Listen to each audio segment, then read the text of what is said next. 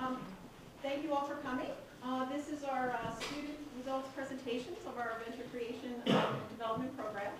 The students have been working uh, quite hard uh, all through the 15 weeks with the companies, Um, and so happy to see everybody here. Um, We are going to start uh, real quick. I'm just going to do a very quick introduction because it really is about the students tonight. Um, And then we'll have each presentation. Uh, There's four presentations. Uh, Traditional barbecue will go first, Pharma Design, Niagara Conservation, and then My Work Butterfly. And um, we are lucky to have some special guests with us tonight. Um, We have, um, I want to point out Dr. Schwartz back there, who has been a wonderful um, supporter. She's our department chair, so thank you uh, once again for your unwavering support, Ethne. We also are lucky to have some um, experts in the uh, audience and some other faculty with us. Um, Steve Fulda, George Manaluni, some um, pharma experts, Mike Einstein, who I know quite well, um, and a couple other uh, pharma people. So hopefully we'll get some questions um, as we go through uh, the presentations from our experts. Um, And we welcome present, uh, questions from our companies, of course. We're going to be going through, the students will be presenting uh, 15 minutes, and then after, there'll be uh, five or so minutes uh, for questions. And then after we're all done with these formal presentations, uh, there's, students can go and speak to their companies in private. And we have a room next door, and there's um, a room upstairs, so um, they will uh, lead you to wherever they choose. Um, Go back. So, one of the things that is interesting for me is that we started out with the companies talking about building bridges, and here we are at the end. Although I don't like to think of it as the end, I like to think of it as new beginnings. And so I always have a quote of the day, and my quote today is, "It's good to have an end to journey toward, but it is the journey that matters in the end." And as the students can attest, oh, what a journey it was. Um, I really was um, incredibly impressed with our students, and um, one of the things that I do is I do like quotes. And so um, over the past week, the students did a lessons learned exercise. And I just wanted to point out a few things because I want to thank all of you that are in this room that have been so helpful during the semester, whether being a mentor, the companies that brought the students into their fold and gave them a lot of the information that they needed to work on these projects. And there was a lot of learning going on. So here's some team quotes. Um, these are from the students individually, and I don't want to go through all of them, but just to pick out a few. These are from the students randomly. This team demanded true teamwork. There are times to be objective and there are times to be subjective. Establishing client expectations is the first step to success. We also did a lot about critical thinking, analysis and process. Determining relevant information and integrating it all was a very daunting task. It's extremely difficult to take a step back and see the big picture. But really, they managed to do it. I'm looking forward to seeing their final presentations, and I'm sure you'll be all surprised. And finally, on the real world, which again, I thank you all, because one of the students said, the work we did in this class is probably the most relevant work I've done in a class in terms of what I can take from the classroom and apply to life. And my favorite, I learned that I have a lot to learn. And so hopefully we can continue learning together. And I'm going to turn it over to the students. So um, we have traditional cube barbecue, although I see is Tom. Okay, so why don't we start with um, Pharma Design since they are here.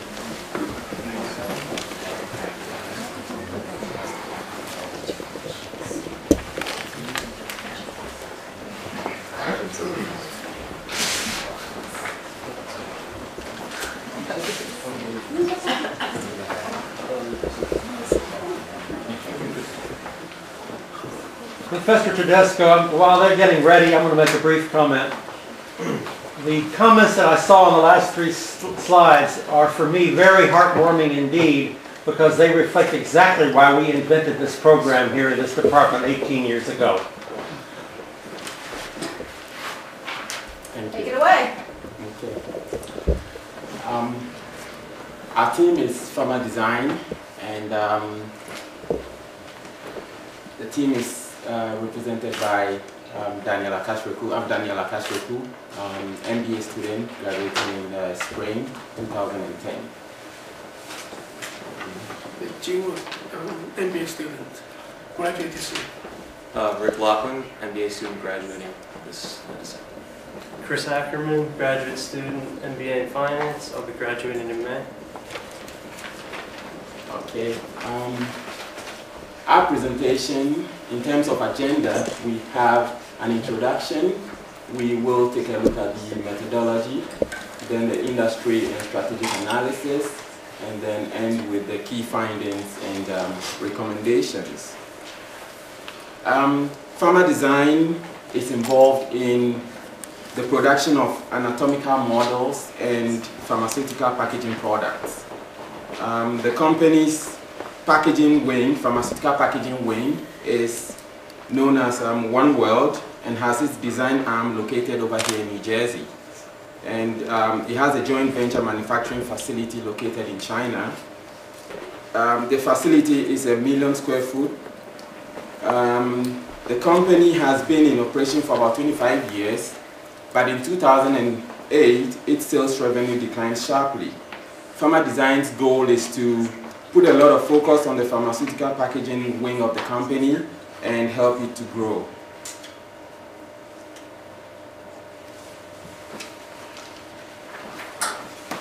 Um, patient non-compliance is a major issue in the health sector today. The New England Healthcare Institute estimates that approximately 1.1 million um, lives are lost each year due to poor compliance with medi uh, poor compliance with medication by patients. And um, this is attributed to the lack of education um, by a lot of people in taking their medications. And then um, some packaging products are also not very user-friendly, so people have problems um, accessing getting to the medication. Our study specifically looked at how the pharmaceutical packaging um, unit of this company can be developed to help in solving this problem and also grow its revenues in the process. The company's customer value proposition is to provide patient education and um, user-friendly packaging which will result in patient compliance. Hence the company's mantra of compliance education with innovation.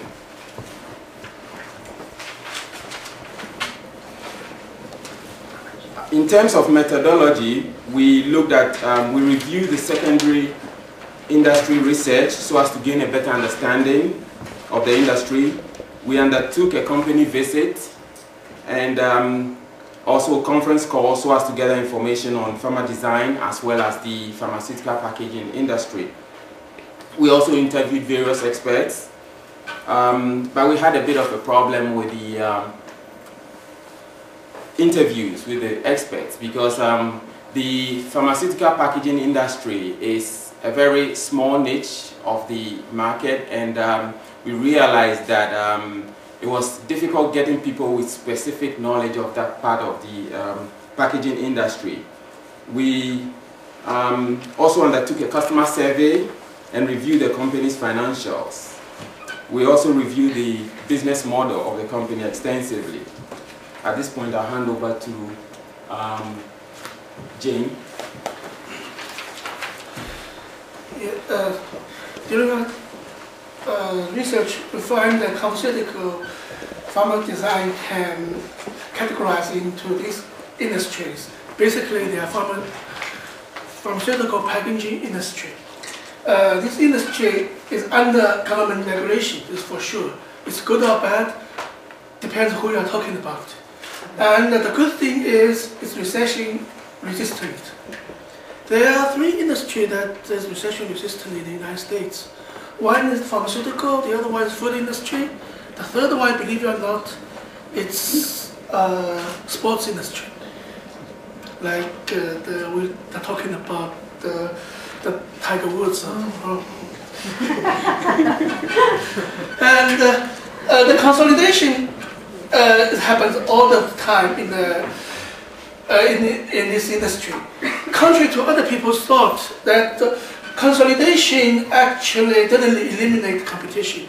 Uh, the competition is more serious than before. Which one? Hmm, Oh. Okay, the industry is growth quickly.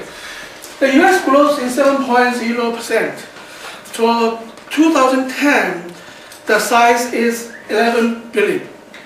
And uh, the graph is uh, the growth rate of the blister, the uh, plastic bottle, and other things.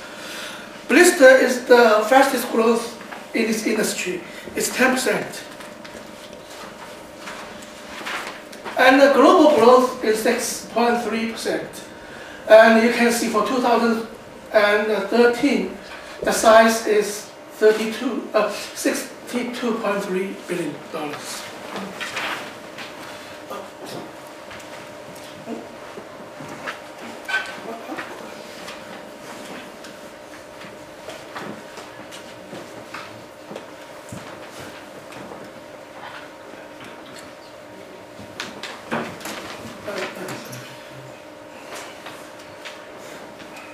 The reason for growth is uh, as follows. First is the baby boomer, caused the pharmaceutical industry to grow. The second is the government regulations. The third is the biotech drug industry needs more containers. And the fourth is the growth of emerging market, like India, uh, Pakistan, and uh, China. The last reason is what we're talking about, the emerging compliance packaging industry. Talking about the compliance packaging, uh, why do we need compliance packaging? We can ask the question the other way. Uh, what happens if we don't do the compliance? This is the cost. Uh, it's estimated that 290 billion per year, about 13%, one-eighth of the total healthcare expenditure is dependent, spent on the non-compliance of cost. So this is a big problem for the uh, healthcare industry, but it is a great opportunity for ones who explore it. Uh, youth compliance packaging can solve this problem greatly. Uh, the picture here shows that uh, use the unit dose blister packaging, it can increase compliance by 30%. Just change the packaging. This is the 30%. Pharma design dedicated to the compliance packaging for several years. Uh, this is, I think, uh, this is very familiar for everybody. It's the Seasonale, the first uh, drug FDA uh, approved for the woman to have uh, periods, only four periods each year. This is a very successful product, company with a very excellent designed package, designed by from a pharma design company. And uh, it's win the award, uh, Healthcare Compliance Packaging Council. And the pharma design is uh, putting more and more effort on the complex packaging. So how do I do it? I leave this to uh, Daniel. In terms of um, strategy, Pharma Design um, has a reputable design team. It's able to bring to life whatever um, concept that these customers bring to it. Um, the company approaches potential customers also at times with these ideas and sells it to them. Um, over the years, the company has become known as a reputable company that produces great results.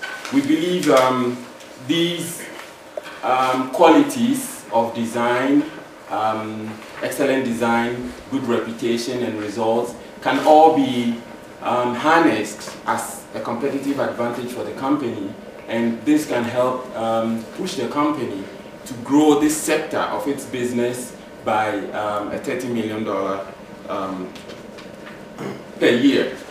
Um, at this point, I'll hand over to Rick. I'm going to talk a little bit about our marketing directives. Um, we're, first, we're trying to develop a focused marketing strategy. So the first step uh, is we're going to want to raise awareness.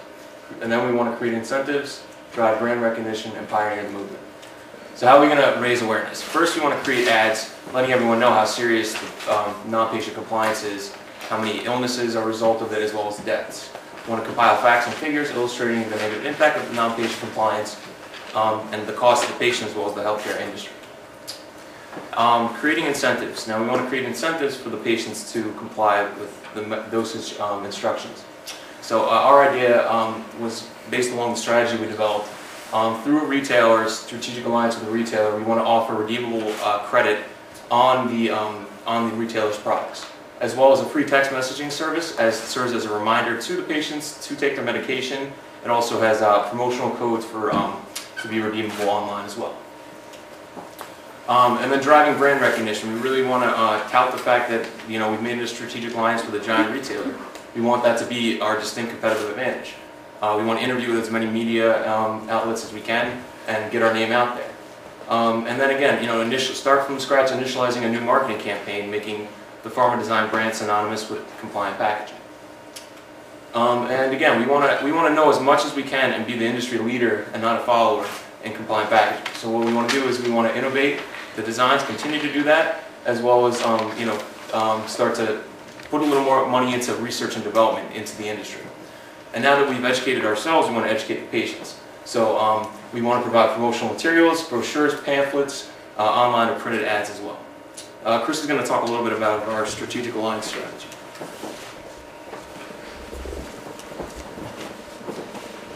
All right, talk a little bit about our key findings and our recommendation for the alliance, as Rick touched on. Uh, we found that in developing the strategy, uh, there are three catalysts that could really have a big impact on the growth of pharma design. Uh, the three catalysts were extensive marketing campaign, which Rick touched on. That uh, could involve uh, a large investment in advertising and whatnot. Uh, government regulation, which pharma design doesn't have a ton of pull here uh, as far as uh, improving or making the government act on this $290 billion cost that is accruing every year, but clearly there's, there should be an incentive for them. Um, and the strategic alliance, uh, which we feel is the most feasible strategy going forward. And uh, the advantages of the alliance, um, currently uh, the distribution channel for pharma design, uh, pharma design creates the product, the package, ships it to the drug manufacturer, they package it up and send it out. Uh, the problem with this is uh, the incentive for the drug manufacturers are not always there. They're set in their ways of uh, low-cost packaging, um, and they don't really want to mess with the cost structure that they have. But by pulling an alliance with a retailer, just using Walmart as an example here, uh, you can generate a demand. So the drug manufacturer will, uh, Walmart will be, in this case, asking the drug manufacturer for a specific type of compliance packaging, where, and that's where pharma design comes in, supplying that to them, and it, we can really generate at a rapid rate. Uh, Walmart has been a pioneer lately in the, actually the first pioneer in the retail uh, pharmaceutical market in uh, compliance packaging. So the potential partners, you have to wonder what, what's in it for them. It's clear that there's a, there's a big benefit for pharma design, but uh, why would a retail giant want to uh, form a strategic alliance with a company like Pharma Design? Well, the incentives are promoting a customer-friendly image, um, just uh, some of the stats that my colleagues have pointed out, it's clear that compliance packaging is a major issue, and uh, compliance packaging can really have a big impact on the health of the overall country. And you can also cut costs and reduce a tremendous amount of error by using these compliance packaging products. And uh, on top of that, provides competitive prices. Uh, Walmart currently is um, providing some of the cheapest medication through some of their compliance packaging products. I think they have a $4 generic uh, drug program right now. It's making it very affordable for people to take their medication. Um, so just going over a few case studies. um, on strategic alliances. Uh, one in 1988 examined 4,192 alliances. Found that there were greater gains with smaller partner when smaller partners join with larger. Um, in this case, uh, Pharma design would be the smaller, the retail giant would be the larger, so that that looks good there. And then uh, in 2002, there was a an analysis of 1,572 cases. They found that firms that have more experience with alliances are more successful. No big surprise there, but um, you want to maybe de- deal with uh, hiring an expert in the alliance field or uh, doing an alliance with a company who's familiar in that in that uh, system. And then the final study here, we we learned that uh, out of 191 alliances examined, suppliers uh, realized 70% of the total gains. This is another huge advantage for pharma design, being that they would be the suppliers in the alliance. And um, based on this, all of our extensive research we've done over the last three months, uh, we do believe that many retailers are going to be shifting towards compliance packaging, and we're confident that Pharma Design can be there to take advantage of this tremendous opportunity. It's been a great time doing this project, a lot of fun work. Uh, I just want to thank Pharma Design for helping us, providing us with all the information, the resources, and uh, we'll just we're open to any questions right now if anyone has any. I have a question. Why the alliance with the retailers and not with the industry? With the pharmaceutical industry? Uh, the alliance with the retailer as opposed to Why don't you, why don't, why didn't you think about the alliance with the guys that make the drugs? And why would pharma design be responsible for creating the awareness and not the pharmaceutical industry itself? Well, that would be part of a first question about uh, going directly to the drug manufacturers. Like I said before, they're very reliant on their cost structures, most of them, so they're not very, uh, they don't really want to stray too far from what they already have in place. Whereas if we can generate some kind of a demand through a retailer, it would really increase uh, the amount that could be produced. And the second, um, an advertising campaign, uh, it's not necessarily Pharma Design's responsibility, but it will help their sales tremendously. if They can get the uh, idea out there about how important patient compliance is, because before, honestly, before we even met them, we, all four of us weren't aware of how important the issue, this issue is in the country. And with all the healthcare issues coming up currently, it seems like it's a great time to take advantage of that opportunity. To add to um, Chris's um, point, his answer to the first question, um, Walmart already has um, started working with um, MeadWestvaco in this particular line of business. They have gone into um, compliance packaging, and the reason why Walmart is doing it is they want to make sure if they they want to move away from um, having these large bottles in their pharma pharmacies and then having um, uh, the pharmacists dispensing them. They want to move to packages, so the guy just picks a package, slots it in an envelope, and gives it out to the patient. So it reduces time, it reduces cost for them. Thank you. I have a question. Who's driving compliance? Is the FDA or the industry? Uh, currently, it's uh, the industry. So that's the interesting, interesting opportunity there is when there's a tremendous, we, we believe that there should be a demand coming from government regulation. So once that kind of starts getting enforced, I think that opens up a whole new slope. You should legislate the technology using the FDA to drive the. Exactly. The government, what the government is doing is just the barcode, or kind of things that's easy to regulate. But there's a lot of things that is not that easy to regulate because all these compliance are decided by the age, the uh, demographic. Uh, every case is different. It's not that easy for them to get uh, general regulation. For, for. I heard some very compelling recommendations. Uh, Did you try to evaluate the costs that would be involved in uh, implementing those recommendations? Absolutely, we got uh, into a very detailed analysis in our business plan. We just didn't feel it'd be appropriate to display it to everyone, but we have all that for Pharma Design to go over. Um, Luckily, you'll have some time with Pharma Design after to talk about that in the private meeting. I just wanted to, before we, because that was perfect, I think we, uh, 30 seconds, um, just ask uh, Fred and Terry from Pharma Design if you guys had any questions or any um, last comments. And um, the team, of course, is going to send you a whole package with all of their work and um, meet with you after just, but if you had a question, um, love to hear that. My uh, first comment is I'm very pleased to see that with just a, a minimal amount of contact with us, your students have been able to really distill down to the essence of our business. And um, they raised some key questions. I'm looking forward to, uh, to going over the more detailed information with them. But I think they've done a wonderful job at being able to uh, drill out those essential pieces of information and sort that out from all the fluff. Thank you. Perfect. Great job, guys.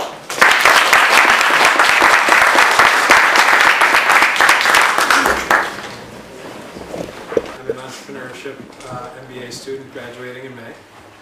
I'm Greg Kizilevich. I'm a a finance MBA student. I'll be graduating in uh, May as well. Andres Mosqueda, I'm now MBA in Entrepreneurial Studies and these are my last hours of school. Very exciting. Uh, So I'm just going to talk a little bit about our agenda. And so uh, Greg's going to talk first about uh, the the task that uh, we were we were asked to uh, research, as w- well as the opportunity that we observed. And and Andres is going to talk a little bit about uh, the customer survey that we we did and the findings that uh, uh, we gleaned from that. Uh, That includes the customer value proposition, uh, the initiative timing, as well as uh, the motivations of customers. And then I'll talk about the recommendations and the business model that we suggest, as well as the risks associated with it. And then Greg's going to finalize the presentation with uh, a conclusion.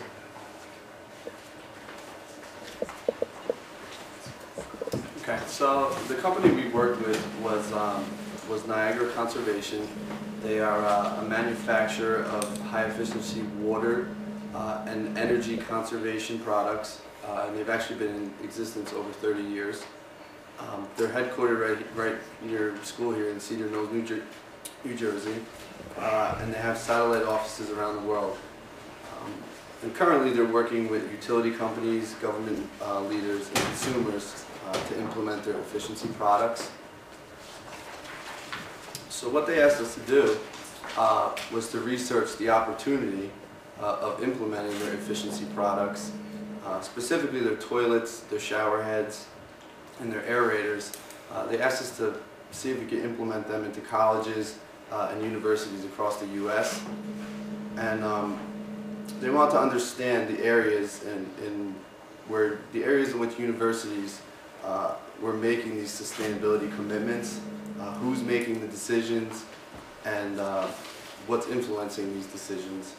Uh, and then after everything was collected, uh, is there an opportunity and how they could best pursue it.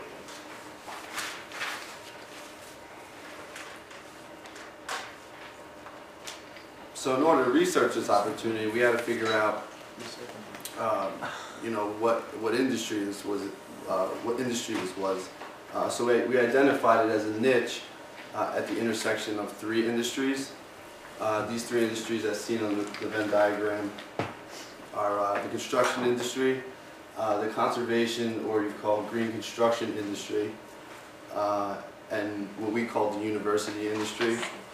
So we took a look at the construction industry and we found in a, in a Datamonitor industry report that the industry is forecast to grow 4.4% to set near to near 714 billion dollars, and that's from 2008 to 2013. And what we're really looking for in this area uh, is any type of growth, as it's a mature industry uh, and we're in an economic downturn. Uh, the next industry, which was we labeled here as the conservation industry, um, also known, also can be labeled as green construction.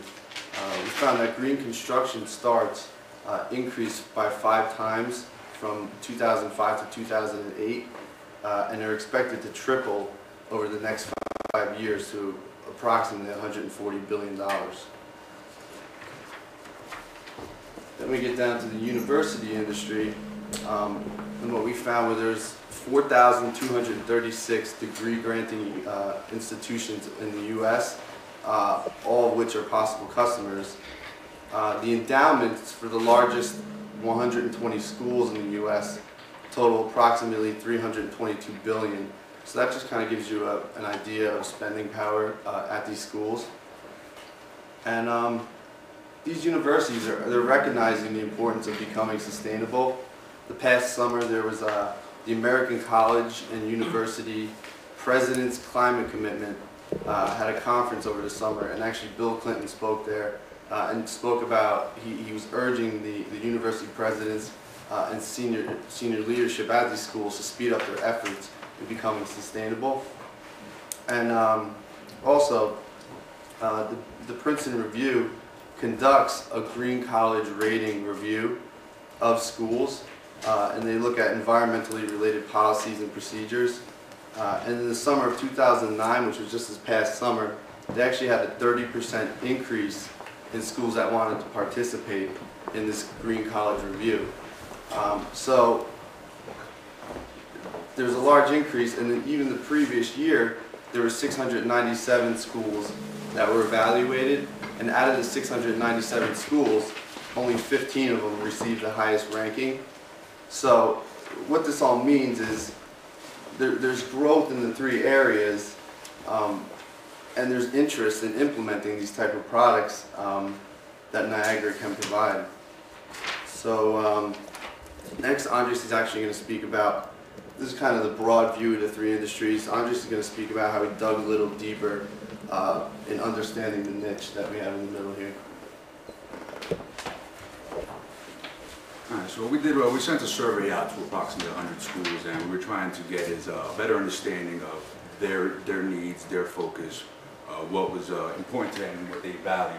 It's a little difficult to see in the slides here, but uh, basically, you know, we had them rank as, as far as energy conservation, you know, what was their important criteria, what were they looking for, and, uh, you know, with the rankings as from not important as to, into very important. And uh, you can see that across the board, they're interested in the technology, uh, they were interested in the pricing, obviously, you know, with, with the lower economic downturn, having less money to spend, they want to be able to provide these efficiencies. However, their concern is the impact they're going to have initially up front. Uh, as well as besides the technology and the efficiency, uh, you know, they were interested you know, in the style, the quality, and warranty or any other backup support that they would be able to provide. And what this does was it allows Niagara to, to understand the customer's perspective, to understand what they're looking for and be able to, you know, address their, the issues that are needed, to address the true pain points. Um, next, what we did was uh, the timing of the initiative. So we were, we were interested in seeing, all right, so eh, they are interested in water con- conservation. As far as how important is the timing for Niagara? What should they do? When should they, when should they act? And we went directly asked for 2010, what, uh, how, much water initiative, how important is it to you to have a water conservation as, a, as an initiative? And as you can see in this, in the slide over here, um, over 50% responded, you know, with a almost a very important ranking, next to highest, as to how important the water conservation initiative is to them.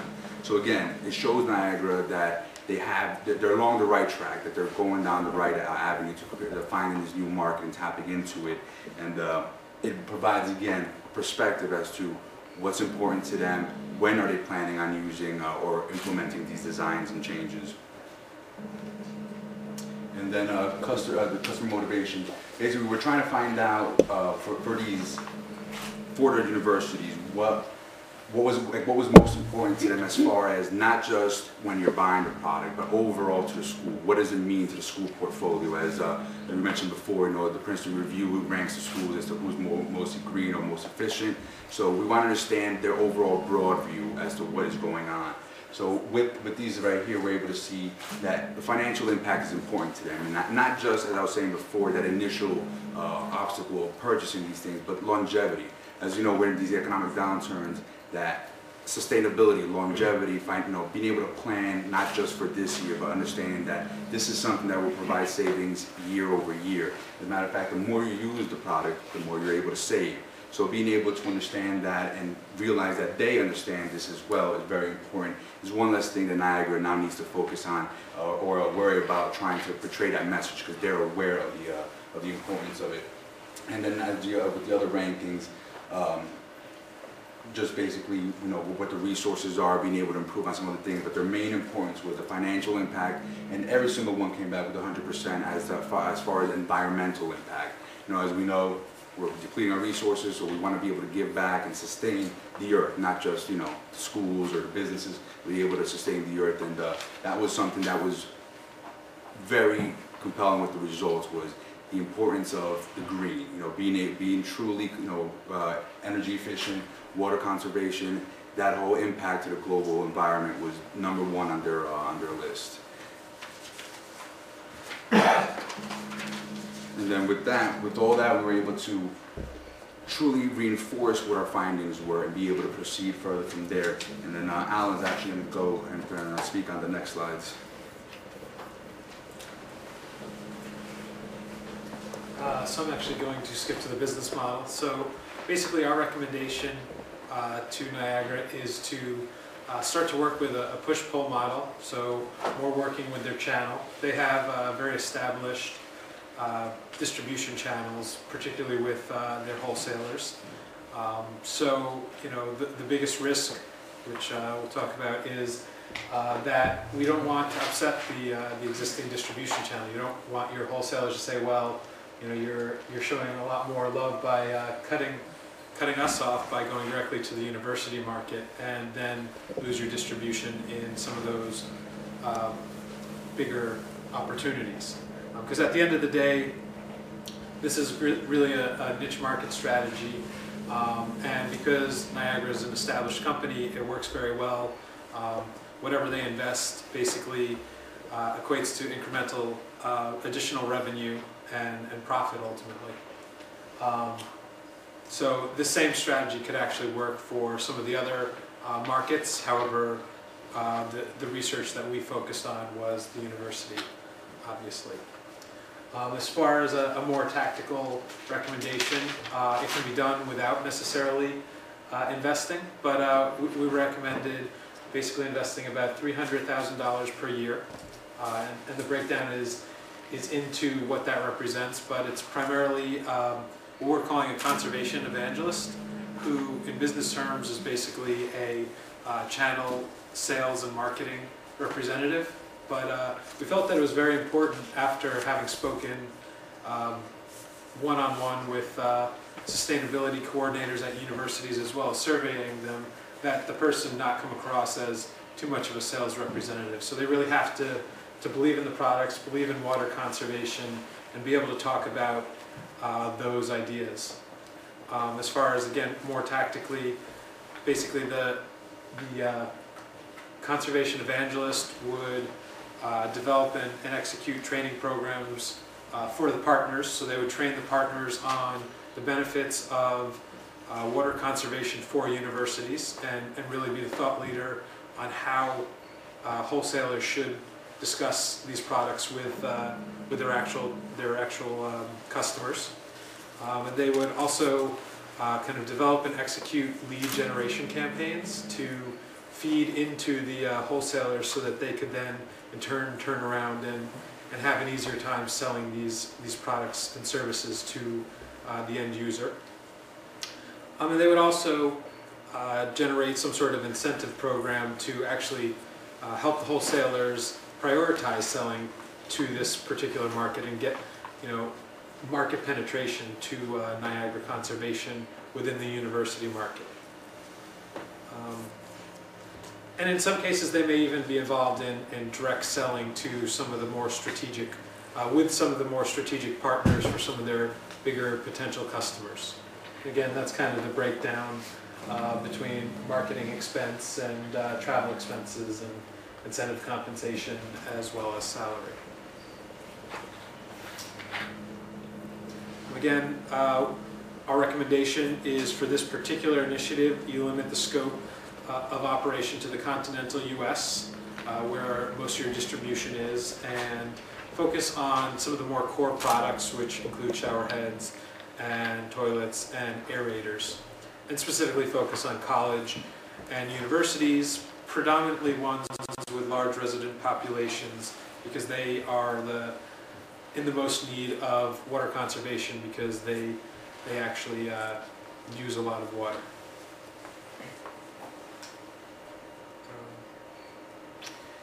And so, actually, I'm going to ask Greg to uh, pull it all together.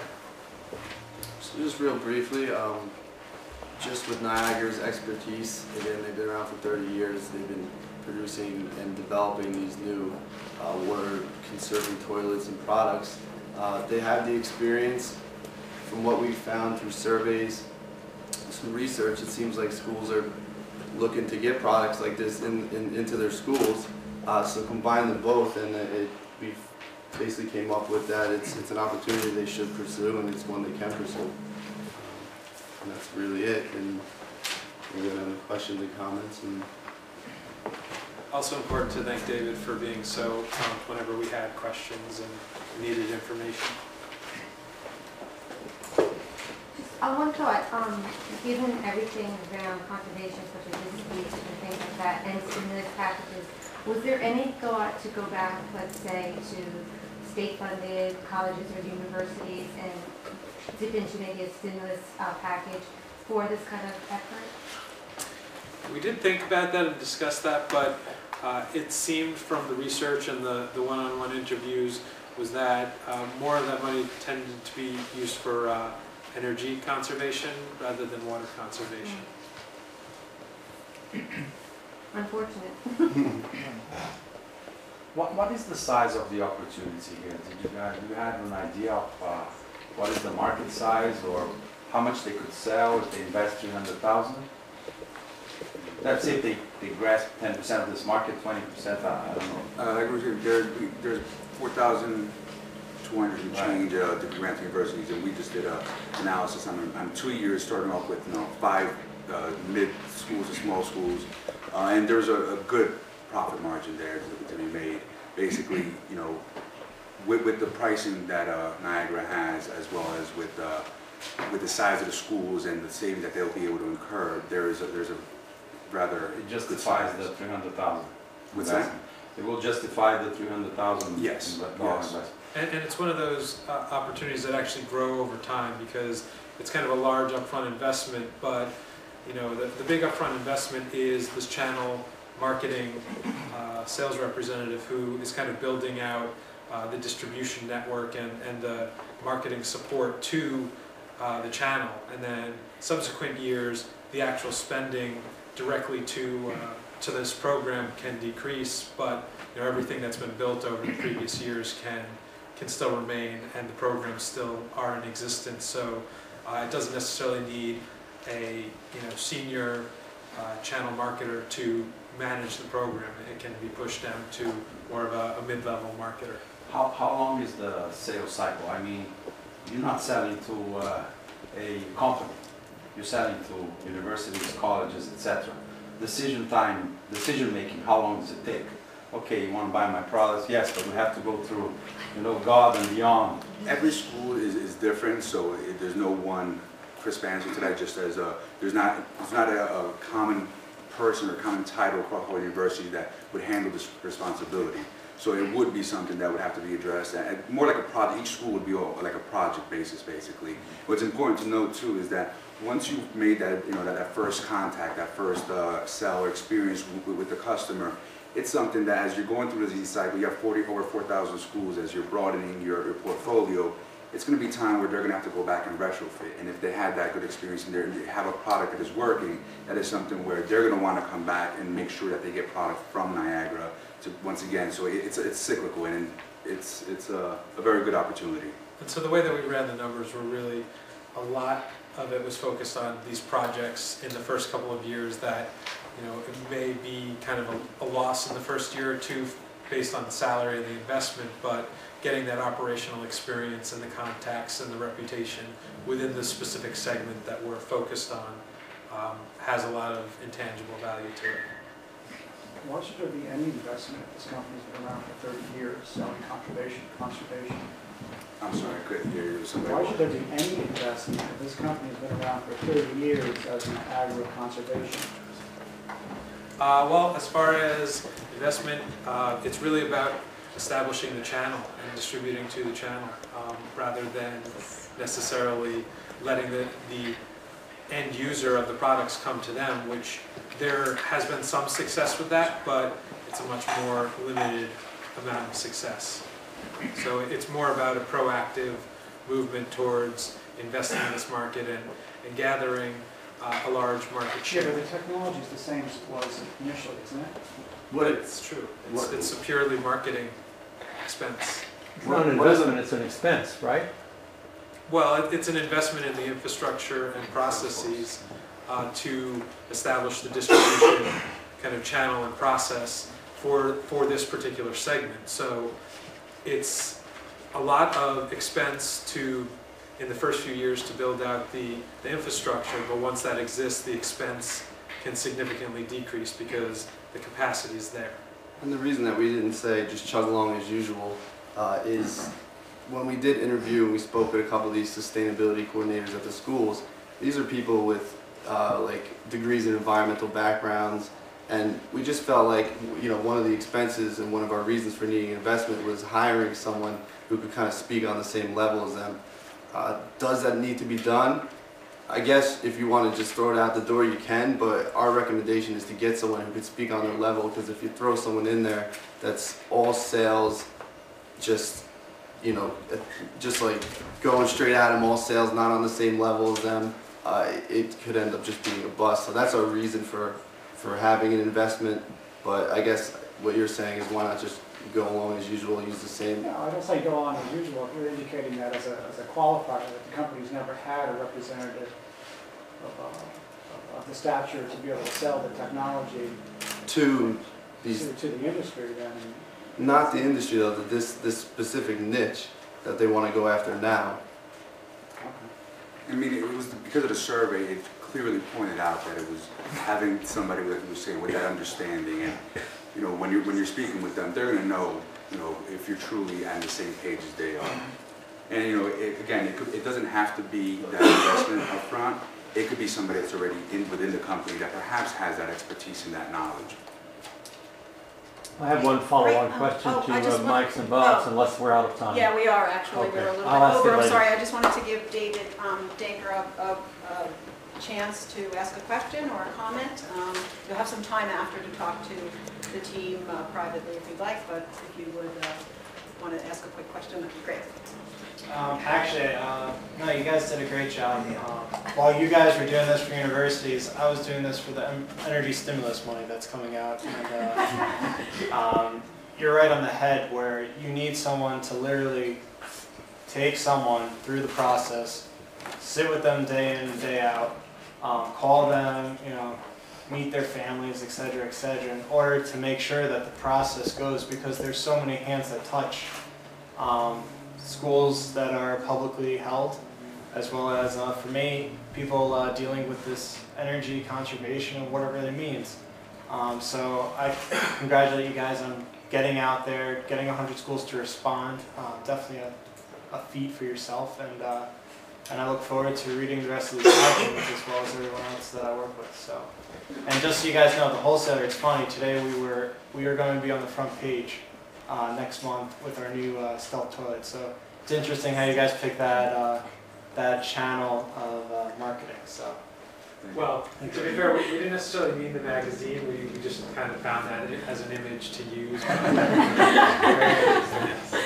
Great, thank you. Good evening, everyone. We represent Team Barbecue. My name is Becky. This is Tara, Chelsea, and Hal. This is basically what we're going to discuss for the evening. We're going to go over methodology, the industry and strategic analysis, key findings, and recommendations for this new startup concept. All right, um, so we uh, started working with a traditional Q barbecue with uh, Tom Bean, and his idea was to start up a takeout um, barbecue restaurant. And uh, his idea was to start it in this uh, area. Um, Well, that was part of our job, is to figure out if this was the best area uh, for him and for the opportunity. And um, so we, uh, so Traditional Q's main objective uh, is to provide a high-quality tasting barbecue as, um, as an affordable takeout option uh, compared to the rest of the takeout options out there that are usual and and, uh, not really unique, such as you know, Chinese and, um, and fast food and, uh, and Italian. Um, financially, the other objective is to break even by the second quarter of the second year of operations, which uh, we projected as uh, feasible in our uh, in our financials. Um, Q will target um, two-income families, uh, two-income working families, uh, corporations uh, in the area, uh, the business people of those corporations, and uh, college students in, um, in the Morris County market. Um, The value that Q will be providing for the, uh, to the customer uh, is an all-American home-cooked meal on the table without the, the hassle and all the, the- the wasted time of cooking, um, the preparation, the cooking, and the cleanup.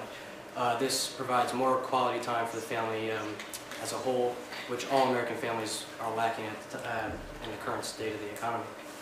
Um, In order to, uh, to provide this value for the customer, the following attributes um, must be, uh, must be included. Um, The high-quality taste uh, comes from the slow-cook process of the barbecue uh, cooking and uh, mixed in with the unique uh, recipes and the ingredients. Um, But also at a low cost, not only to the company, but to the uh, consumer as well. The low cost comes in, um, the supplies will be low cost and the overhead will be, um, be used, um, such as the equipment. So um, it'll not only be low cost to the company, but that will translate into low cost uh, of the meals for the uh, customers. Also, the product, uh, the meal offerings will, all, will be uh, constantly innovated um, and developed uh, throughout the entire process based on demand of the consumer and based on seasonal trends. Um, Q will also have a small organizational structure similar to a Subway where um, there's very limited, um, limited employee and staffing uh, requirements and uh, there isn't a lot of space so that saves on facility and rent uh, expenses. Also, um, Q will try to capitalize on the untapped uh, Morris County market where there really isn't too much barbecue uh, takeout opportunities out there or restaurants out there. And uh, of course, everyone's uh, time is one of their most valuable assets. So quick, convenient takeout and reliable delivery is also a necessity. Um, But taking all those aspects and actually implementing them and, um, and conveying them to the customer um, starts at the beginning and ends uh, with an action. Um, You need to understand the feasibility of the, um, of the project and um, pick a location that is optimal for the venture. And then you have to find your customer. Who is your customer and how are you going to get the customer aware of your, um, of your venture, of your, um, of your restaurant? And then you have to take action um, once you do all the research and figure out what your company is. Um, You have to uh, start hiring personnel and start uh, finding uh, rental locations for the, for the restaurant and so on and so forth. Being college students ourselves, we were able to tap a unique market, which is who we think will be the primary target for this restaurant. We sent out a survey to approximately 500 students, and we got 92% of the respondents like barbecue, so that's very promising for Tom. 64% of those respondents would be willing to try a takeout barbecue restaurant. However, only 72.5% would be willing to drive five miles or less. So that is telling us that location is going to be key for this business. Uh, Just a few quick words about um, some of our assumptions financially. Um, Based on a $10 selling price and based on an estimation of 60 customers per day, we assume to sell approximately 20,160 units or meals in year year one. This would result in revenue of 201,600 in year one. Um, Break even, Q's must sell 26,351 units in order to break even. Uh, We predict this to occur roughly in the second quarter of year two, um, hopefully. And at that point, Q's would have sales of 263,500.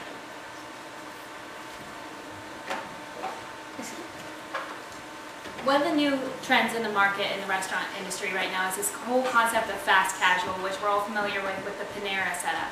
Fast casual is basically just a restaurant in a smaller setting, so that way you can spend less on uh, overall cost, whether it's table service, the actual facility, and overhead. So this is a new trend that's really taking off, and there are a couple barbecue fast casual restaurants in existence now, not in this area. Barbecue is also gaining popularity as well. Um, we have technological advancements in the way smokers are now being used, um, where they can be kind of left to their own devices and you don't need a pit master or someone watching it at all times. There's also um, the concept that people are moving around the country more and more and they're taking their love of barbecue with them from location to location. There's about five different types of barbecue, so no matter where you're from, you get some type of barbecue where you live. So if you have someone that's relocating from Texas to the Northeast, they're going to miss that Texas barbecue, and we think we can really capitalize on those people that are being relocated here. Um, also, with the economic recession in today's times, people want to taste something that's familiar to them. They want the comfort of home, and what better way to deliver that than barbecue? In 2007, there was 58% of chains carried at least one barbecue item. And there are actually 13 full-service barbecue chains that had at least 25 million in annual sales. Okay. Um, quick service restaurants, which are also identified with fast food restaurants, tend to have a cheaper check average, about $5. Um, they have minimal decor and focus less on the quality of their ingredients, which tend to have a cheaper check average, $5. Um, Oh, as opposed to fast casual restaurants, which tend to have an eight to nine dollar check average. A theme decor and use premium ingredients, which translates as a healthier meal that is worth more to consumers. Q's is looking to position itself in between the quick service restaurant and the fast casual, in that it'll offer quality food fast and at a low cost. Fast casual restaurants are currently outperforming the restaurant industry as a whole and poised for growth by providing fast, high quality food at an attractive price um, that resonates with consumers. Consumers are tired of standard fast food but appreciate the convenience of quick service. Fast food restaurants are attempting to compete by upgrading menu offerings and product quality like McDonald's McLatte or their 100% Angus beef um, burger. Q's plans to focus heavily and mostly on takeout. A study completed by NPD Group Consulting Services revealed that people are eating in restaurants less often, but overall sales are increasing as a result of the availability of takeout options, which obviously is increasingly popular, something that we tend to, or hope to focus on, or Q's does.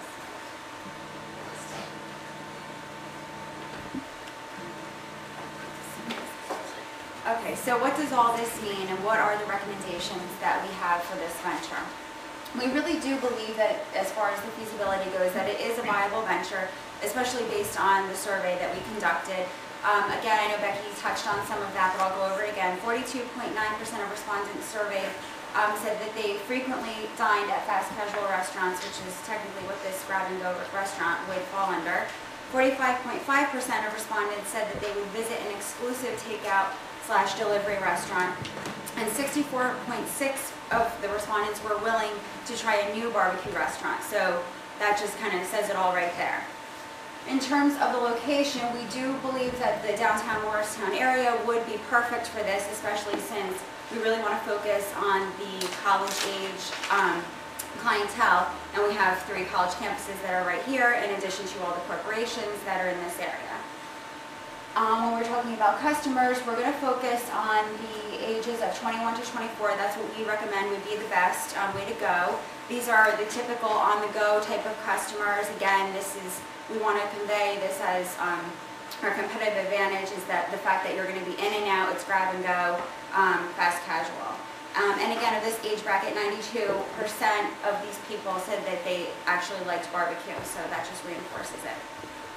In terms of board of advisor recommendations, we recommend that a rest, an experienced um, person in the restaurant industry be hired as a consultant to start up.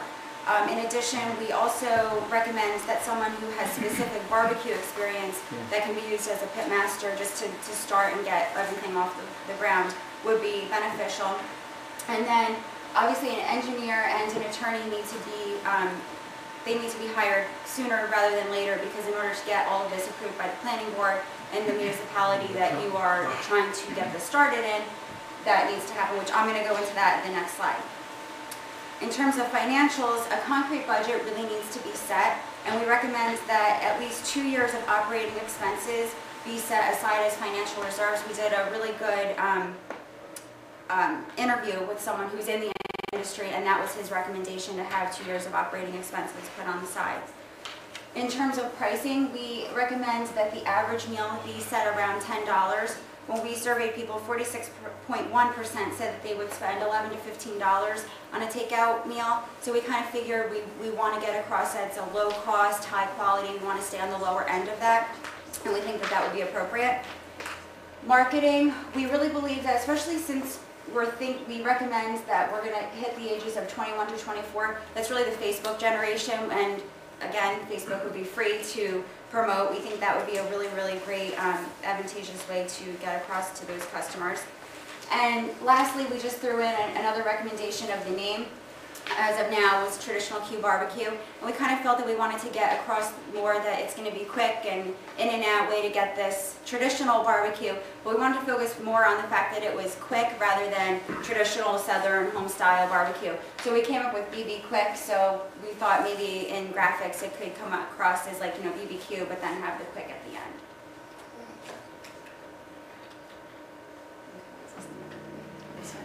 Thank you. Okay, so again, I just talked before about the attorney and the engineer.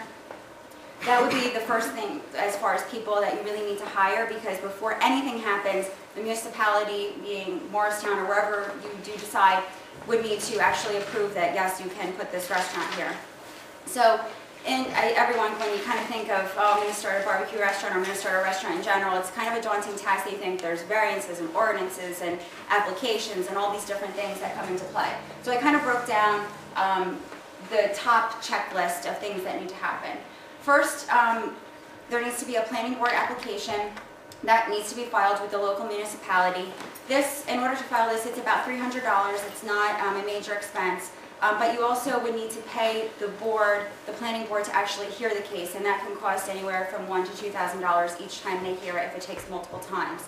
Um, in this case, the first, uh, going along with the planning board application, if you need a variance, let's say the barbecue restaurant is going to go in where a dry cleaner used to be, or something that wasn't uh, previously a restaurant, you would need to put in a variance for a change of site, and that way that would come in like right at the beginning also. Once this application is in, then it needs to go onto the planning board agenda. And once it gets on the agenda, that means that the planning board will hear the case and it needs to get advertised. So it needs to be put in the newspaper for everyone to voice their opinion that yes, they want this or no, they don't want it. In addition, people who are 200 feet within this proposed site of the restaurant would need to be made well aware of this proposal. They need to be sent um, a registered letter at least 10 days in advance so that way they can also attend the planning board meeting. Again, hire an attorney um, and an engineer. They both need to represent the restaurant right from the get-go because they are going to pretty much battle it out um, with the attorney and the engineer from the local municipality to see if this is going to be feasible. So they pretty much will negotiate that. In addition, an application to the local Board of Health needs to be in state um, or the County Board of Health, and this includes minimal fees, so that's not too much of a concern. And then there's also additional regulations. If it's a new site construction, um, there's a lot of different things that come in with like county soil conservation, with things with erosion and, and excavating and different things like that. Um, also, it would need to be heard by the local planning board and the county planning board as well. And Department of Transportation would also be a factor. They would want to make sure that there's enough, you know, entrance and exits to and from the parking lot and, and those types of things. So pretty much these are just the steps in order to get the restaurant off the floor. This would be like the first things that would need to happen once we realize that it is feasible, and this would be the next, the next recommendations. So uh, bringing things together, um, we think this can be a successful venture, but a lot more work has to be done. Um, we can only we only suggest that we use uh, they use our information, our business plan, and our uh, all of our information um, as a starting point, as a basis. Um, uh, we recommend, again, to speak to as many industry experts as possible, learn all the ins and outs of the barbecue industry, the restaurant industry, and just starting a restaurant uh, from scratch in general. Um, once you do all the research, um, you need to pick your strategies and, uh, and stick with them all the way through, unless, you know, obviously things, you may see uh, unforeseeable problems in the future that you need to revise. Um, also, is your organizational structure, um, when you first thought of it, is it the same as, is it feasible? Is it going to work for your company? Um, and um, your advertising, do you know who you're going to advertise to? Uh, your target market might have changed over the past six to 12 months. Um, and is this venture financially uh, feasible? Um, again, we need to have um, a concrete budget in place. So uh, we want to thank uh, venture creation class and uh, Tom for all his help. And uh, we hope that our information can help him uh, uh, can uh, help him either decide whether to uh, take this to the next uh, level or to maybe sit on it for a little bit. Um, that choice is his. Thanks.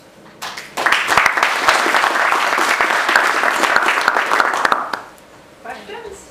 I think Dom Salentano's in the back there. Oh, yeah. Guy.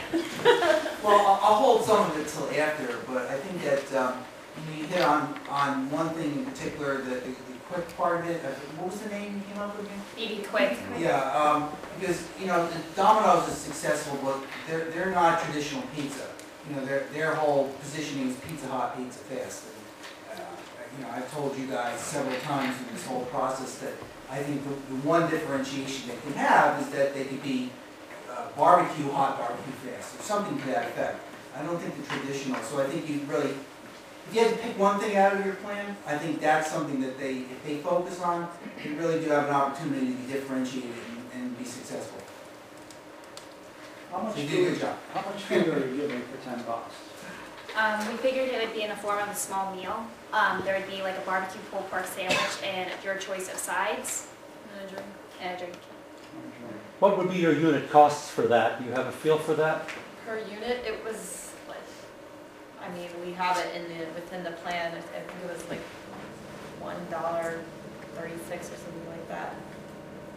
You might want to consider Seems bringing very it low. below to eighteen and twenty-one, because you have FDU, Drew across the street, and College of St. Michael's, right? College of St. College uh, Elizabeth's. St. Elizabeth's. Yeah. So if you have a dollar menu, and freshmen don't have, freshmen aren't allowed to have cards, right? And Some all- campuses, yes. Some do, but most don't. Right. So you have to take out as the paradigm, right, that's a big part of this. So if you bring down the cost, if you're like a dollar fifty under, give them two starches, like rice, Spanish rice, fills them up, fries, and like chicken, like a breast and, and. Right, some of our sides were like sweet potato fries or regular fries give or onion rings. and, and maybe bring the price down to eight, Mhm. and include in there that drink that you already have in delivery. Six or seven. You do very well. Right, that's one of the options. Instead of just takeout, we also have a delivery option as well. Right, right. But I think we decided that it would be like a twenty dollar minimum order or something. Well, that's for fine. covering. Because then you're pulling two kids from one dorm. Exactly, You know, Yes. Uh, just a couple of observations, and I apologize for not being here for the other two groups prior to this, but um, I would advise whoever you're working with to actually speak to restaurants within the Middletown area and see if they feel that they could survive on college students alone.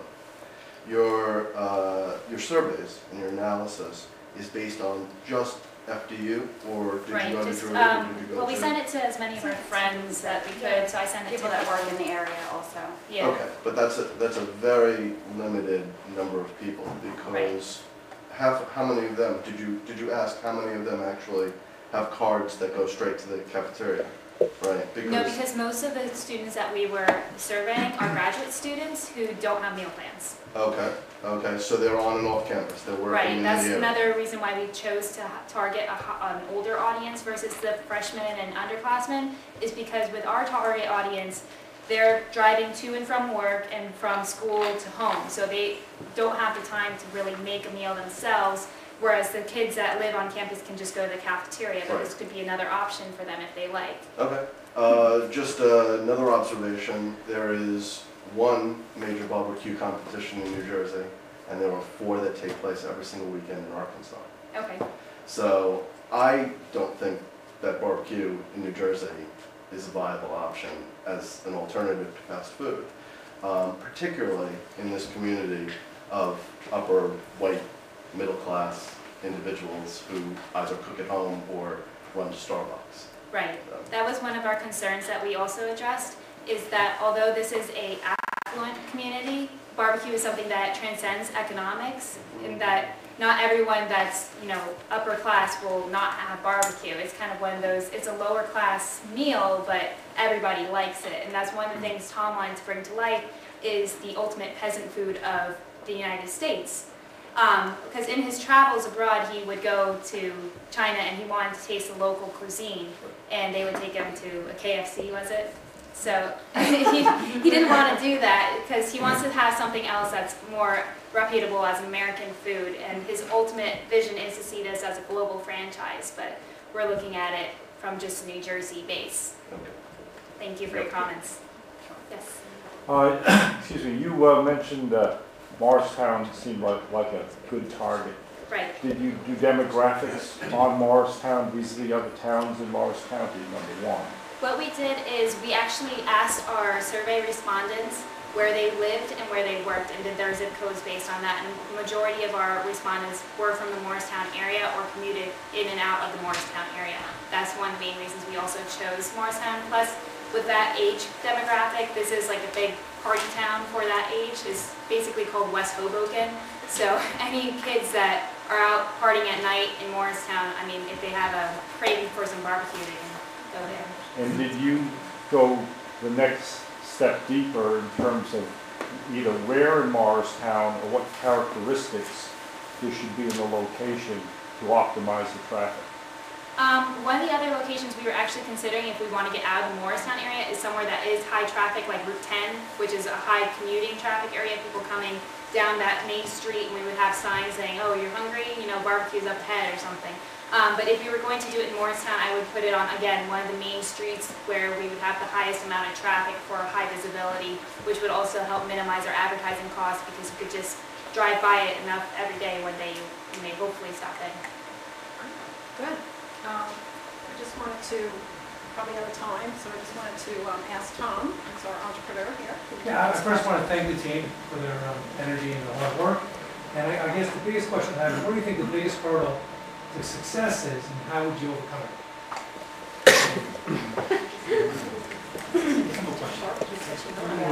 Yeah, I, I would agree with Chelsea that, um, making sure that barbecue is in fact wanted in New What Jersey, he said. which, what he, his point brought to light is that maybe there isn't really barbecue in this region for a reason. Maybe people in hmm. New Jersey don't like barbecue. So Or they do it at home. You're Right, they do it at home, which is another statistic that we found is that grilling is becoming increasingly popular at home. And there's this whole trend towards outdoor living.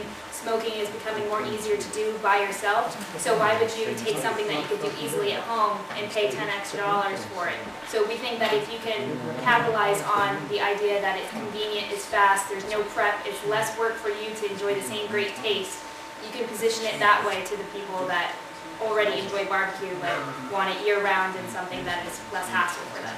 You make steaks at home and you go to steakhouses. Yeah, exactly. I don't think one has anything to do with the other. I think it's a great idea. You have Rocco's here, right? Is Rocco's still around? Yeah. Okay, now that's a die, and that's been there for like 40 years. So make this very simple. Just think about who's down the street on, what, 24? Right, it's probably the same people that were here in the 70s. Right, and then just add something slightly different, It's, you know, and you're not building a nuclear power plant, you have to respect in terms of regulations here. It's a barbecue joint, right? That's So- a good name, by the way. Barbecue joint. Yeah, put it down on, on the level of what it is, and Right. keep it cheap and deliver. And, I mean, what is the expectations of the owner in terms of his income? With, with two hundred thousand, with four hundred thousand, the one guy making eight hundred thousand dollars, that might be just fine versus a comparison model on Route ten. You're gonna have to be in the eight, seven, eight, ten million dollar range. Right. You know, because then you're really dealing with the bureaucrats that you're referring to, not so much maybe in, in on the green or right here in Madison. So, Very much what we want. As someone who's lived Okay. three blocks from Route 24, I will tell you that there's been enormous turnover in restaurants along Route 24 in the last 40 years. Okay. Okay, more time after during our mixer, so you guys can pursue your questions. Before we start, I just want to, uh, or our team, uh, Shivanji, Patrick, Phil, and I would like to thank uh, all of you for joining us. Uh, We'd also like to give special thanks to the university, the chair of the Entrepreneurial Studies Department, Dr. Anthony Schwartz, uh, Professor uh, Greenbarrett, I don't know where you are, there you are, and of course, our famed professor, Gina Tedesco. Um, We all agree that uh, all of the opportunities for us to work uh, during the semester or in the beginning of the semester with some outstanding companies, but we happen to gravitate to two ladies in the front row um, because uh, their business, My Work Butterfly, because we really believe that their business uh, and the subject which we were going to cover is really very relevant to business today and the world today. We wanted to specifically understand social networking, the implications on business, and the implications on society and how it affects business. And we believe the industry, the industry, while in its infancy, will have profound effects on our communities in general and business for the long foreseeable future. We also believe that My Work Butterfly has a real opportunity to create value for professional women. We are delighted to have provided several paths in our presentation to Terry and Brady for them to take their business forward. Well, how do we accomplish this? Um, teamwork. Each of our team members brought a specific skill set that helped us accomplish our intended goal. We believe our different backgrounds provided a platform for critical thinking for us throughout the entire semester. Our team's core value held us to the highest standard. We wanted to learn, and we wanted to learn a lot about this industry. And our commitment was very simple. We imposed a strict work ethic. We were unrelenting in our desire to provide a valuable work product for our client, My Work Butterfly. And new thinking. We spent much time considering the business sector and the model. We were conscious of building a new box for our client, not just thinking outside the box, again, but building it in a new box. It is our hope that the recommendations developed by our consulting team are used by My Work Butterfly to take the necessary steps forward in analyzing and thinking through their business. We've been fortunate to learn a lot about their business, to learn to research and think through the challenges that My Work Butterfly faces as it seeks to grow and expand in the marketplace. And with this, I'd ask Shivanji to touch upon the methodology used to build out our new box.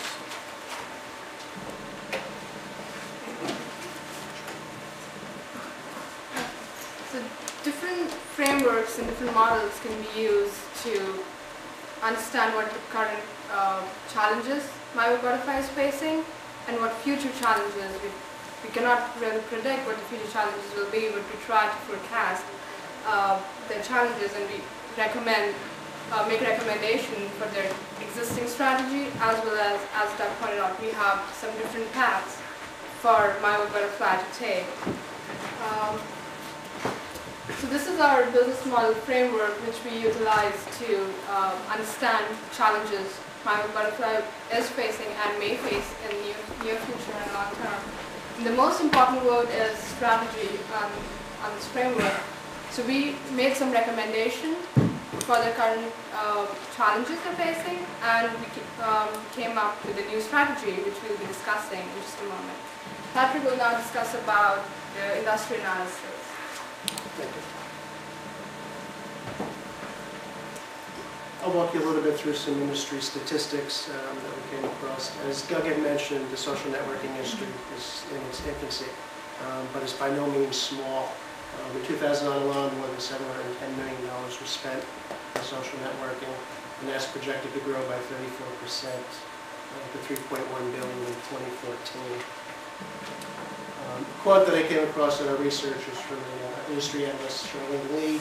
Um, social networks will be like air, they'll be everywhere and anywhere we need them to be in five to ten years. So it's an industry that's just expanding exponentially.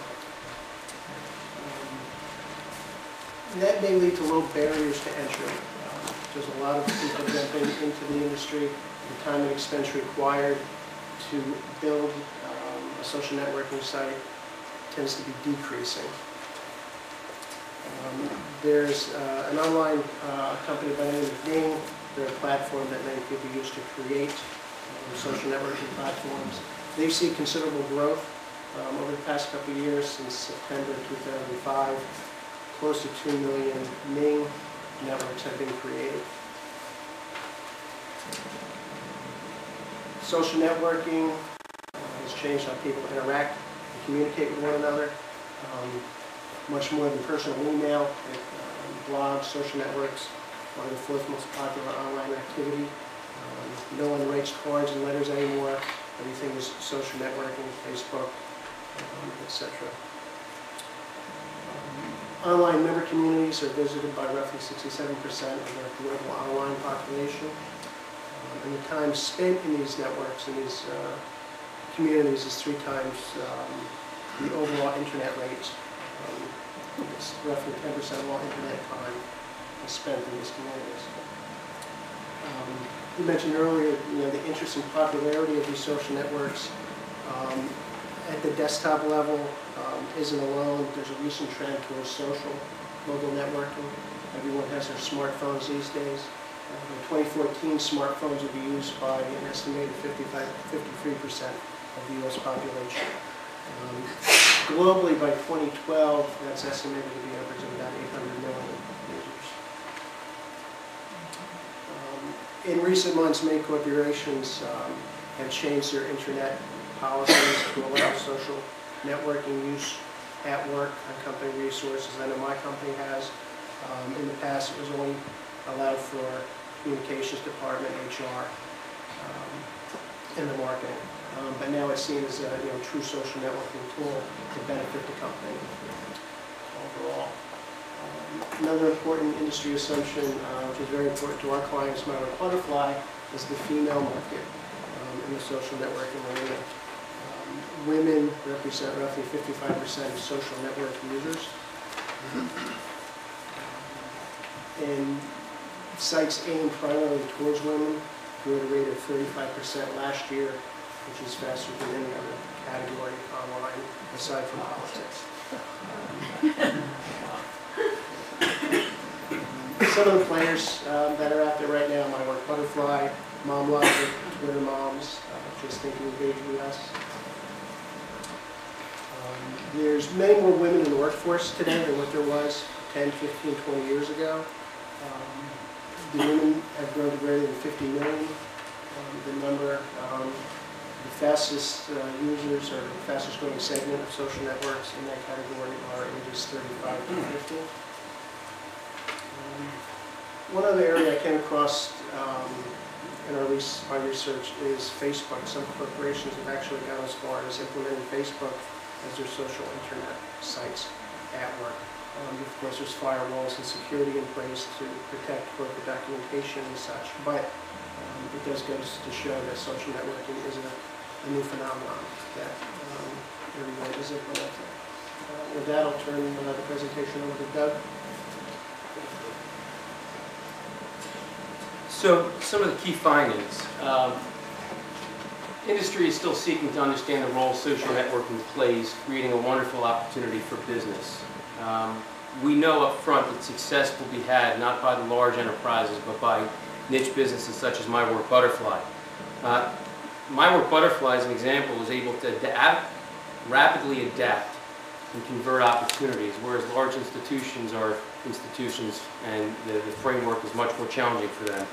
Uh, Also, because markets are fragmented um, and because content is important, their impact, specifically the niche business's impact, can be significant and significant uh, in a very short term.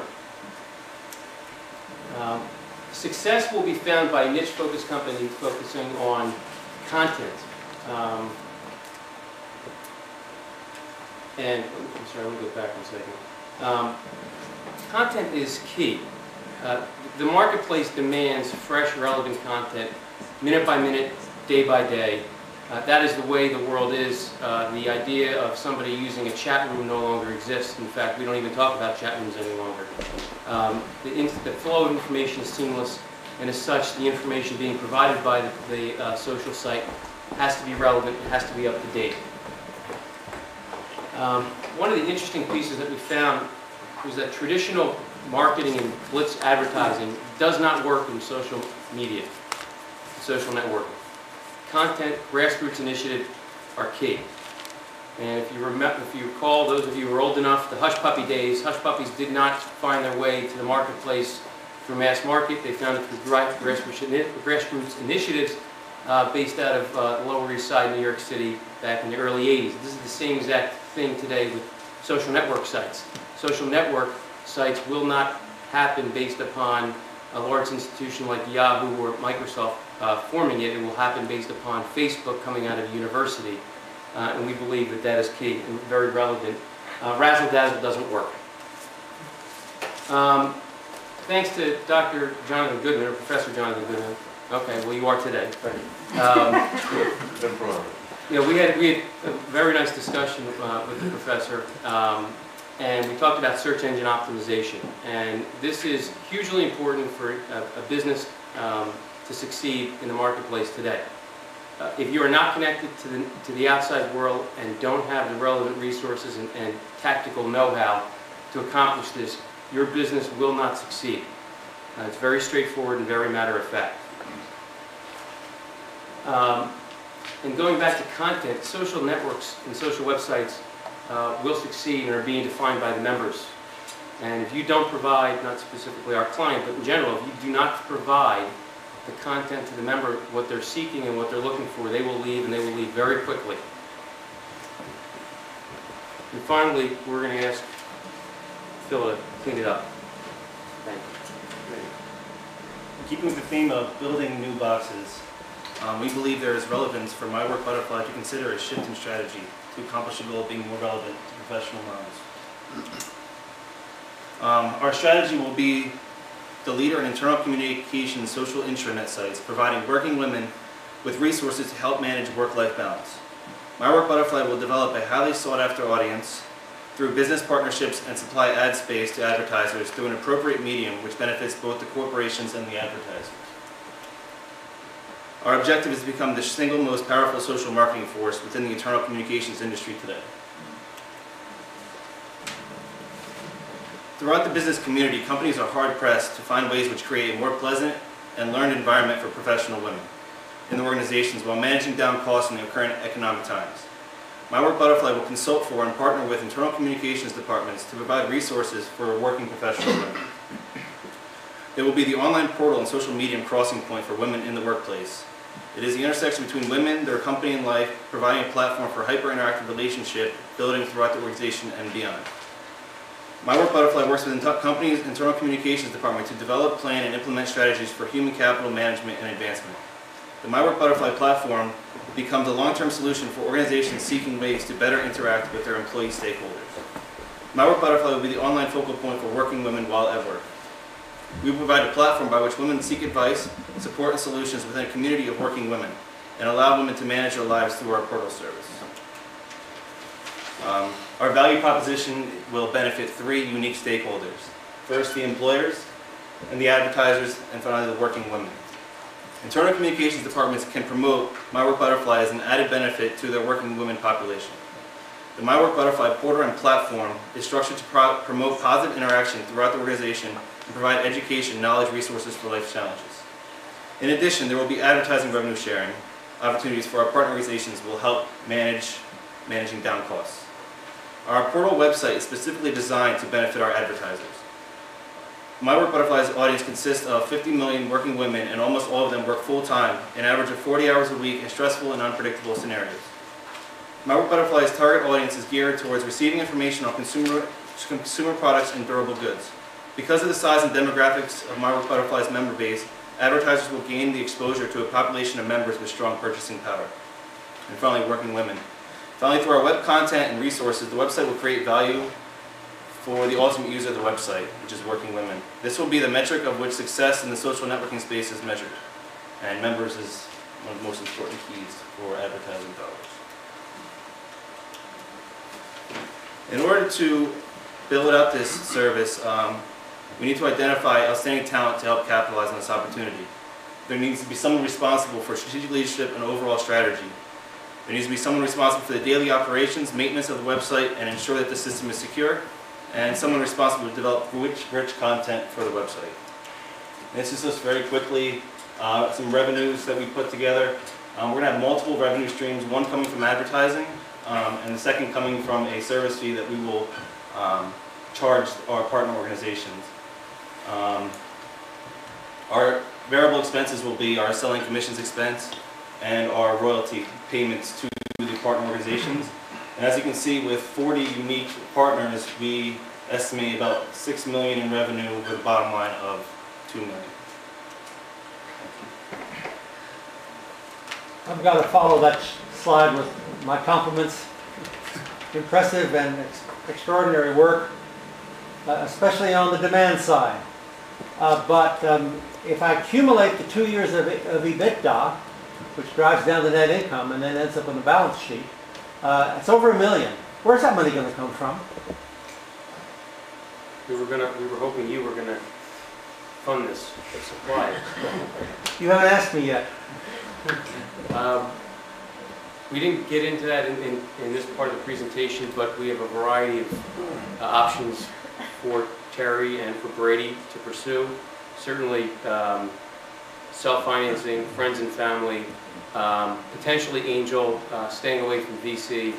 Um, But it is going to be a challenge. I mean, there's, there's absolutely no question about it, that when you're looking to develop and build out this platform, uh, there are inherent costs and uh, they're steep um, on the first year, first and second year.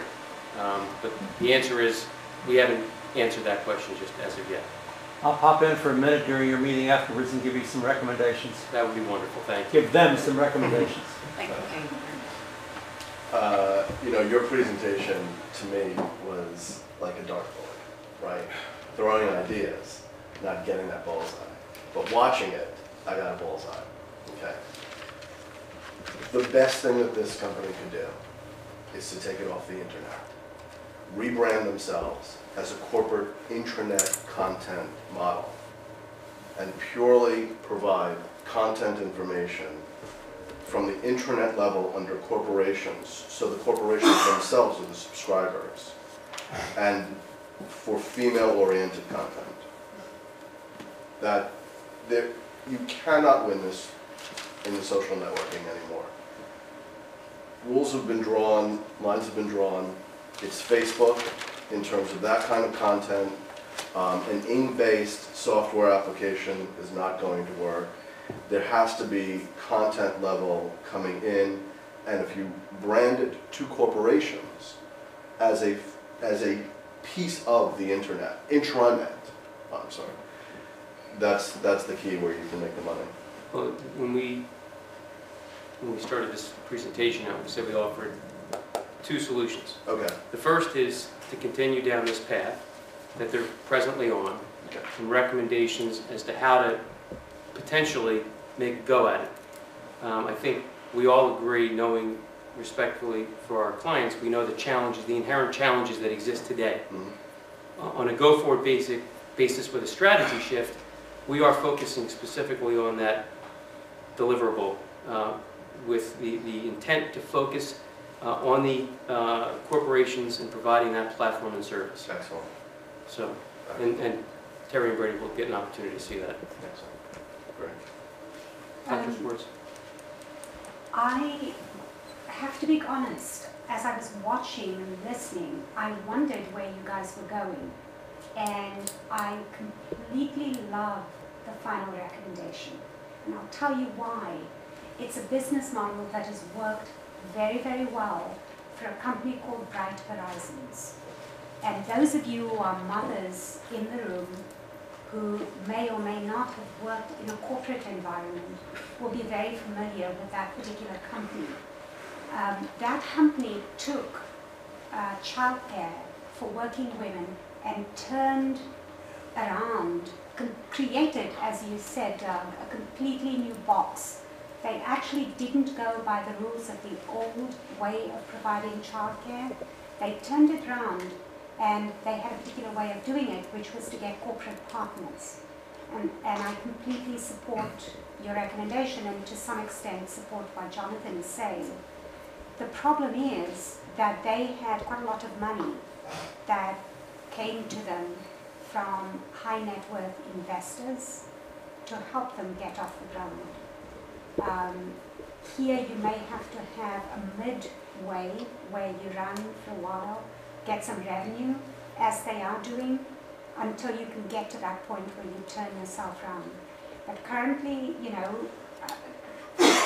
I think the concierge type, which is, I'm not sure whether that is an appropriate term to Mm. use, that might be the midway until you get to that point where you can transform. Well, it, it, it, it certainly would be a work in progress. I think that if we, if I didn't state this, or our team didn't state the fact that, uh, what Terry and Brady bring to the table, um, is, is far and above, um, what I've seen a lot of other business owners bring, and that is, they have the know-how, um, they have the drive, the energy, and they have the relevant experience to make it happen. Um, But I think the biggest piece and the biggest puzzle that we'll talk about is the dollars. I mean, at the end of the day, uh, you know, if you have the money, you can get the resources.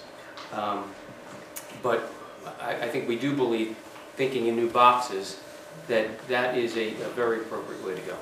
Because you want to think in a new box, then why don't you change this model around? I work with Fortune 50 companies, and they won't give you a dime. I got a letter today from one of them saying, we have to cut our costs to 10%. We've never raised their price. We've been working with them since 1996. Social networking, social networking to me means, to me means something like right? I work around the world uh, now. In the Islamic countries, women are brutalized. They have no rights. Um, Yemen, uh, Oman, uh, Tunisia, Afghanistan. Women are chosen by elders and who they'll have a relationship with, that special kind of relationship with the opposite sex. Having said that, to me, and I could be ignorant here, we want to change this whole paradigm and have something completely unique, where you don't really need to rely. There's a lot of women out there who need you. So you can take the skill set that you have inherently, that you've had all your lives, and turn it into some extra change for yourselves, and also accomplish the goal of feeling wonderful about what you do, because there is no voice. I think your model is a good one, but there's a lot of overlap out there. You may agree or you might disagree, I don't know, because you, you know this field, I don't. But if you did the same charter in terms of social networking, basically to get women who are oppressed, and there's lots of them, into a relationship with somebody maybe in a different part of the world, that in itself would be a hybrid version of, of one of these networks that's out there always advertised. This is a question. It's an idea. Charlie? Yeah, uh, working women seems like a very broad category to me. Um, and I would imagine that, uh, women of different ages, different situations might have different needs in terms of content, uh, even within a corporate environment. Do you get down into segments of working women? Yes, there, there are two clearly defined seg, uh, pieces to, the- to the professional, to the professional women. Uh, there's the newbie moms, who are defined from ages 25, 26 to 34. And then there are the established moms, 35 to 50. Um, If we had to select one target group over another target group, we personally would select, or collectively, we would select the newbie moms. Uh, One, uh, well, two reasons. One, um, they'll spend without necessarily understanding their finances, uh, as just being young and some level of ignorance, although not completely ignorant. And two, um, they, uh, they have children and they will uh, adore their children with, with untold gifts. Um, So if we had our druthers, that's where we would go. But uh, we think with a strategy shift and a new box, that ultimately you can hit both because it's content. Alan? Um, So in the new box, um, do you, I guess my question is, uh, do you see this venture as being more of a technology venture, like a platform provider, or more of a service kind of content, community leadership? I think it's got to run parallel. quite frankly, because um, the, the, the inherent offering to the user base is the content. What you've got to provide to the corporation, the client, so to speak, is a platform that's just, I'm not saying completely different, but there's got to be some relevant offering um, to them as well.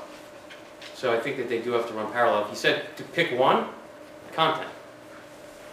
Because I think that, that ultimately the partner corporation would find that it, it would be in their best interest to vest with you and partner with you on developing a, a better platform. And I know Gina's going to say it's time's up. Well, I just wanted to give Terry Reed some, uh, a chance to make a comment or um, ask a question, because it sounds like there's a lot of questions, and we're going to have some time, maybe 15, 20 minutes before you go and retire privately with um, your team to talk to some of these experts here, and hopefully they can give you some advice while we're doing that. So I just wanted to turn it over to you for, for a comment or a question if you'd like to do that. Uh, Well, firstly, obviously, I want to thank the team because um, we know, because we've been working alongside you over the last three months, and it's truly been a collaborative effort from the team and working together. Um, You know, some of our calls and meetings, you know, great things were coming out of those calls, and I think today, um, you know, for me, and I know Brady may want to say something as well, but um, it's interesting that, you know, sort of the turn of where you see us going, that actually I think some of that came out of some of our collaborative thinking on one of our calls. That's right. So, you know, it truly was a, uh, a collaborative partnership in that, in that regard, and so, you know, I'm excited about that and to, to learn more, and thanks, of course, the Fairleigh Dickinson for having us. No, I would just add that we did present the concept to a major corporation, um, and I'm happy to say it's MTV Networks. They were very interested, especially in the fact that it was a revenue share model, and um, we have subsequent follow-up meetings with them. So it, it's something that just first go around has been very well received, and it's certainly something that we would like to continue on further. We have another meeting this Friday to present the same concept to another uh, major corporation as well. So we love- we love it.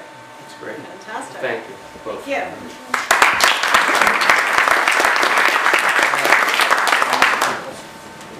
Okay, so um, I hope we all learned that we need more to learn because there seem to be a lot of questions in the room, but I'm, uh, I'm happy to say that uh, I really had a wonderful, wonderful time this semester over these 15 weeks uh, with my students and with the companies, so I just want to thank you again. I know that Dr. Schwartz would like to come up here and wrap up and say something, and then uh, what we'll do is we'll break to a brief mixer for about 20 minutes, and then the students um, can grab their companies and and go off and and have a little chat with them privately to wrap up. And um, I look forward to keeping in contact with all of you, and if I can be of assistance to anybody, please let me know. I'm going to be very brief.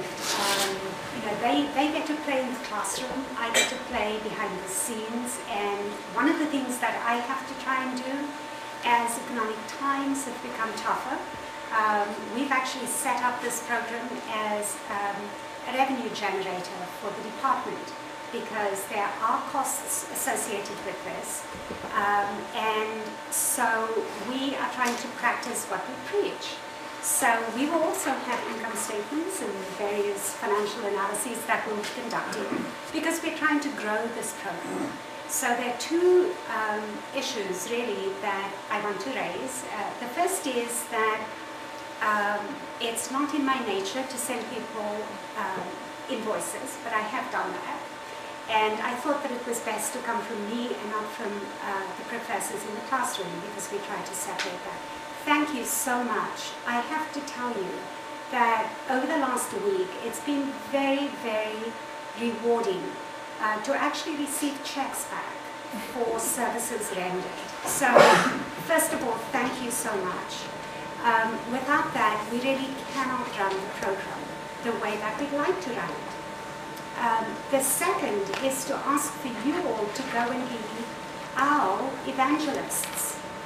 Again, we can't do this, provide a service both to the community as well as to our students to learn, without you guys going and spreading the news.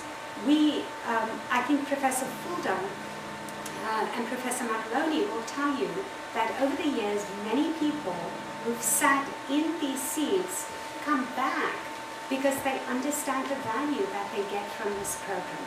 I'm so thrilled that we, um, Professor Fulda, Professor Maloney have handed this over to two absolutely amazing people to work with. Um, so again, you know, just thank you from the bottom of my heart. Make sure that people find out about it and apply. So Thank you so much. thank you. Okay. Thank you. So I hope everybody enjoys the food, please. And um, students, if you need me when you go off, let me know.